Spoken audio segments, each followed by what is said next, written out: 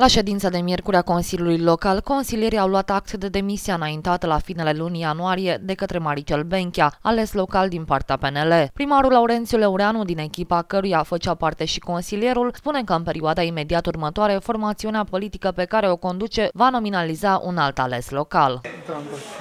Am dat să se verifice pe listă. La o primă vedere se pare că este doamna Chelariu Liliana următoarea pe listă.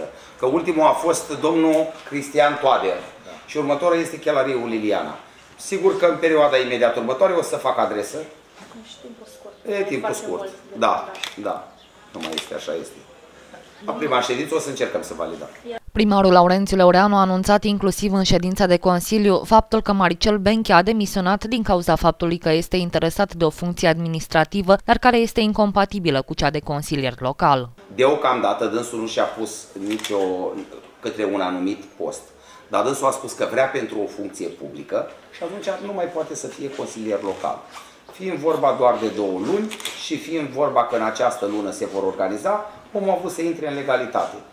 Uh, nu cred că va fi chiar pentru funcția cea mare din direct. În ultima perioadă s-au făcut mai multe speculații legate de posibilitatea ca noua structură independentă pe domeniul sport, club sportiv municipal cu personalitate juridică și care va îngloba activitățile sportive din toate ariile disciplinare, ar putea fi condusă de Maricel Benchea, însă Edirul a declarat că nu este un fapt real. Pentru funcția de director al acestei structuri se cere vechime și studii specifice pe educație fizică și sport.